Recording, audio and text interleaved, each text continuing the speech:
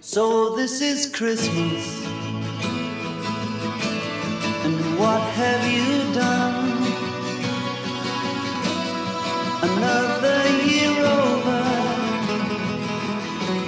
And a new one just begun. And so this is Christmas.